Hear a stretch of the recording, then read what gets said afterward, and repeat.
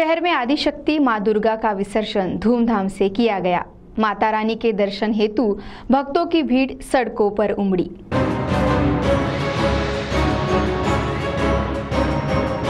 जय माता दी आदिशक्ति माता रानी का नवरात्र का उत्सव समाप्त हो चुका है, तथा दशहरा का पावन त्योहार भी समाप्त हो चुका है। अभी समय चंद्रपुर शहर तथा ज़िले में माता रानी को बड़ी धूमधाम से विसर्जन के लिए लोग ले जा रहे हैं। हालाँकि गणेश जी जैसा कोई एक दिन विशेष रूप से नहीं रहता।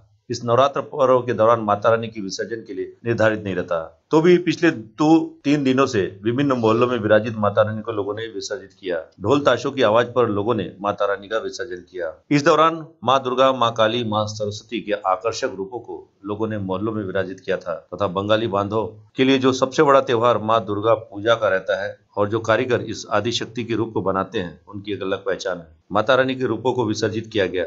इस दौरान मोहल्लों के भक्तों के साथ सड़क के किनारे होकर बहुत सारे लोग दर्शन कर रहे थे तथा इस धार्मिक माहौल का आनंद भी ले रहे थे। और ऐसे में बड़ी श्रद्धा भाव के साथ में ज़ोर से बोलो जय माता दी सारे बोलो जय माता दी मिलकर जय माता दी की पुकार के साथ में माता रानी को विसर्जन के लिए लेकर जा रहे थे।